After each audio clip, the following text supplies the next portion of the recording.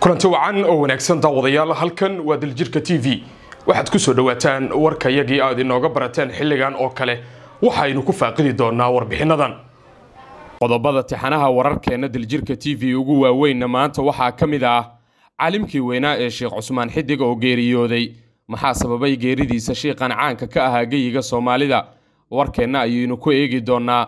Sidoo kale waxaynu dul istaagi doonnaa waa sidee xaaladda dadkii masaakiinta ahaa ee ka barakacay magaalada caabud waaqaxalay xaaladooda guud ayaynu sidoo kale eegi doonnaa iyo guud ahaan jawiga magaalada caabud waaq waxaynu warbixinteenna saaka sidoo kale ku eegi doonnaa madaxweynihii hore ee soomaaliya sheekh shariif sheekh axmed oo si adag uga hadlay hubkii maalmo ka hor lagu bililiqaystay magaalada caabud waaq kuna tilmaamay dowladda soomaaliya mid aan xuduudaha dalka ka warhaynin. Eed kululna u jeediyey madaxweyne xasan sheekh qodobkaasi isna waynu eegi doonnaa waxaynu sidoo kale eegi doonnaa qodob xasaasi ah oo ah ra'iisul wasaare ku-xigeenka dalka oo isbeddel lagu wado in lagu sameeyo xalayna qarka u fuulay in xilkiisa laga qaado. Haddaba ra'iisul wasaare ku-xigeenka dalka haddii xilka laga qaado waa kuma shakhsiga beddelayo. Maqaalkan ayaan kugula wadaagi doonaa. Qodobadaasi iyo wixii inagu soo kordha inta aan warkayaga saaka ku guda jirna ayaad ku maqli doontaan. Balse marka hore halkani waa diljirka t v. Waxaad daqiiqad weliba ama saacad weliba aad ka heshaa xogo xaqiiqa ah waxaan kaa codsanayaa inaad youtube-kan sabskribe saarato si uu markaasi wararkayaga iyo warbixinadannada aad daqiiqad weliba ula socoto. Sidoo kalena markaasi aad gambaleelka furato adiga oo saaxiibadaada u sheergareynaya waa hagaag. Aynu gudagalno warkayaga subaxnimo.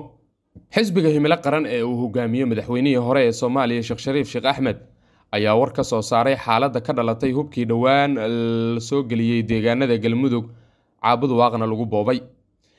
Xisbiga oo walaac ka muujiyey caqabadaha ka dhalan kara wixii dhacay ayaa dowladda soomaaliya ku eedeeyey mas'uuliyad darro. Khilaaf iyo khasaaraha ka dhashay hubkaasi waxaa mas'uuliyaddiisa iska leh dowladda federaalka ayaa lagu yidhaahday qoraalkan ka soo baxay himilo qaran. Xisbiga ayaa sheegay in arrintan ay si weyn u dhaawacayso cunaqabataynta hubka ee sida sharciga ah looga qaaday dalka waxaana aaminsan yahay xisbigu in dana gaar ah laga lahaa hubkan la soo geliyey soomaaliya islamarkaana loo keensaday in lagu waxyeeleeyo dowlad goboleedyada madaxweynaha ka aragtida du ayaa lagu yidhaahday qoraalkan ka soo baxay xisbigan. War-saxaafadeedkan waxaa lagu duray warkii shalay ka soo baxay shirkii golaha amniga qaranka ee madaxweyne xasan sheikh uu shir guddoomiyey kaas oo looga hadlay arrimaha hubka. Xisbiga himilo qaran ee uu shariif ka hogaamiyo wuxuu ayaan darro u arkaa in dowladdu ay ka dhuumato mas'uuliyaddii ka saarnayd amniga dalka waxaana tusaale ah qoraaladii ka soo baxay shirkii golaha amniga qaran iyo wasaaradda amniga dowladda federaalka ayaa lagu yidhaahday bayaankan. Sidoo kale xisbiga ayaa cabsi weyn ka qaba in hubkaasi uu galo gacmaha argagixisada. Haddii taa ay dhacdana waxaa mas'uuliyadda qaadi doonta dowladda federaalka ah ayaa lagu yidhaahday warka ka soo baxay xisbiga. Xisbiga himilo qaran oo fariin u diray shacabka ayaa ugu baaqay in mas'uuliyiinta dowladda iyo kuwa amniga kula xisaabtamaan talada dalka iyo mas'uuliyadda dalka ka saaran. Xisbigu wuxa uu soo jeedinayaa dowladaha dariska la ah dalkeenna in ay dhinacooda ka xaliyaan qulqulka tahriibinta hubka soo gelaya soomaaliya oo khatar ku ah amniga guud ahaan iyo kan gobolka geeska afrika. Waa hagaag haddii aynu ku sii soconno warkayaga subaxnimo ee saakay. Madaxweynaha soomaaliya rofesor xasan sheekh maxamuud oo maanta war-saxaafadeed soo saaray ayaa ka hadlay geerida ku timaaday allaha u naxariistee sheekh cusmaan sheekh daa-uud sheekh cusmaan xidig oo xalay saqdhexe ku geeriyooday magaalada caasimadda ah ee muqdisho. Xasan sheekh ayaa tacsi tiiraanyo leh u diray ehelka culimada iyo guud ahaan dadka soomaaliyeed ee uu ka baxay caalimkii weynaa ee sheekh cusmaan xidig. Sheekh cusmaan xidig ayaa muddooyinkan dambe ku xanuunsanayay magaalada muqdisho oo lagu tacaalayay xaaladiisa caafimaad waxaana geeridiisa xaqiijiyey sheekh maxamed daa-uud oo xirtiisa ka mid ah kaas oo sheegay xalay saqdhexe inuu shiikhu ku geeriyooday magaalada caasimadda ah ee muqdisho. Sidoo kale waxa uu tilmaamay in shiiqa islamaanta lagu aasi doono agagaarka masjidul shifa oo ku yaalla gudaha degmada kaaraan ee gobolka banaadir. Madaxweynaha jamhuuriyadda federaalk soomaaliya mudane xasan sheekh maxamuud ayaa tacsi tiiraanyo leh u diray qoyska qaraabada culimo udiinka iyo dhammaan ummadda soomaaliyeed ee uu ka baxay allaha u naxariistee sheekh cusmaan sheekh daa-uud sheekh cusmaan xidig oo ku geeriyooday magaalada caasimadda ah ee muqdisho. Madaxweynaha ayaa tilmaamay in sheekh cusmaan xidig uu ahaa caalim weyn daaci iyo macallin udubdhexaad u ahaa baridda iyo faafinta diinta islaamka isagoo tacab iyo waqti badan geliyey soo saarista culummo aqoon durugsan u leh diinta islaamka iyo jiilal waxtar u leh dalkeenna. Innaa lilaahi wa innaa ilayhi raajicuun ilaahay ha u naxariisto sheekh cusmaan xidig waxa uu ahaa caalim tacab iyo waqti badan geliyey baridda iyo faafinta diinta islaamka waxaana ka aflaxay culummo badan oo soomaaliyeed oo maanta door weyn ku leh fidinta diinta islaamka. Ayaa lagu yidhaahday bayaan ka soo baxay madaxweynaha soomaaliya xasan sheekh maxamuud. Madaxweynaha dalka ayaa alla uga baryey in hooygiisa ka yeelo jannatulfardows sabar iyo iimaanna ka siiyo ehelada marxuumka culimo udiinka iyo guud ahaan shacabka soomaaliyeed ee uu ka baxay allaha u naxariistay caalimkii weynaa ee sheekh cusmaan xidig oo xalay saqdhexe ku geeriyooday magaalada caasimadda ah ee muqdisho. Bal markan haddii aynu aadno gobolka galgaduud gaar ahaan waqooyiga gobolkaasi. Magaalada caabudu waaq ee waqooyiga gobolka galgaduud ayaa xaaladeedu tahay saakay mid aada u kacsan waxaana magaaladaasi daafaheeda daadsan dadkii xalay ka barakacay cabsida ay ka qabeen in magaaladaasi uu markaasi xabadu ka bilaabato. Guud ahaan magaalada caabudu waaq ayaa dhiilo codaadeed laga soo tabinayay tan iyo sidii loo dhacayba hubkii markaasi lagu qabsaday deegaanka shiila madow oo aan sidaas uga fogeen magaalada caabudu waaq ee waqooyiga gobolka galgaduud. Xaaladda magaaladaasi oo maalinba maalinta ka dambeeda isi soo taraysay ayaa haatan u eg islamarkaana maraysa meeshii ugu xumayd abid waxaana magaaladaasi xalay inta badan ka barakacay dadka ku nool xaafadaha magaaladaasi gaar ahaan xaafadaha ubax iyo xaafadda ammaano oo markaasi isaga barakaceen maadaama ay dadkaasi si weyn ay uga baqeen in magaaladaasi ay xabadu ka bilaabato. Ilaa iyo haatan waxaa ishor fadhiyo.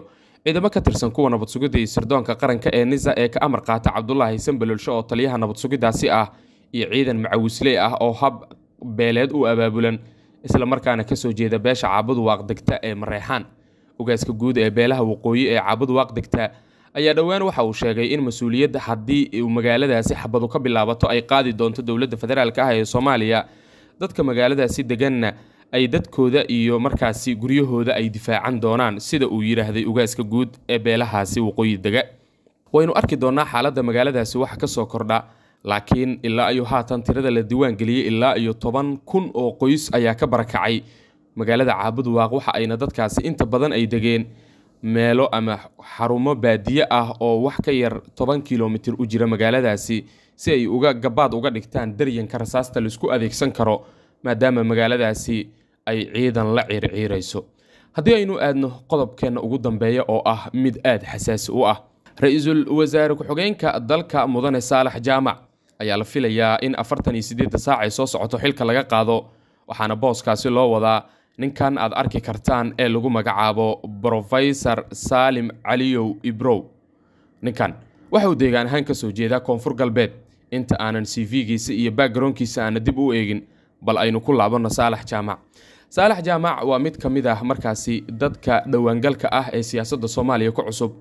Waxa uu kalkan noqday ama teeramkan xasan sheikh laga dhigay ra'iisul wasaare ku-xigeenka dalka.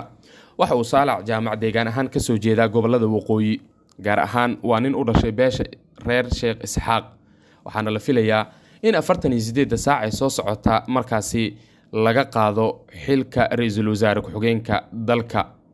Saalim macow ninkan lagu magacaabo aan idhaahdee saalim caliyow ibrow oo ah rugcadaa siyaasadeed kaas oo sannadkii laba kun iyo toddobadii mar soo noqday kusimaha ra'iisul wasaaraha dalka. Ku dhowaad toban jeer ku soo qabtay xilal wasaaradeed ee kala duwan. Sidoo kalena ka tirsan siyaasiyiinta farakutiriska ah ee sumcadda ku leh markaasi soomaaliya ayaa loo wadaa in uu noqdo ra'iisul wasaare ku-xigeenka dalka. Saalim caliyow ibrow waxa uu ka soo jeedaa deegaan ahaan koonfur galbeed waxaana la filayaa in dhowaan la magacaabo islamarkaana warqadiisa lagu dhawaaqo saalax jaamac oo keliya ayaa markaasi horay u ahaa ra'iisul wasaare ku-xigeenka waxaana cajiib ah in inta badan xildhibaanada reer waqooyi ay ku qanacsan yihiin magacaabista brofesor saalim caliyow ibrow marka laga reebo in yar oo farakutiris ah. Waxay ka soo kordha xaaladan waynu eegi doonaa balse waxa uu daljirka t v idiin xaqiijiyey. Xog hoose oo uu helay in ninkan aad u jeedaan ee lagu magacaabo saalim caliyow ibrow loo wado ra'iisul wasaare ku-xigeenka dalka. Waa hagaa guud ahaan warkii aad kala socoteen warbaahinta daljirka t v halkaa ayaan ku hakinaynaa warkan kiisa xigay intaan ku kulmi doonno nabadgelyo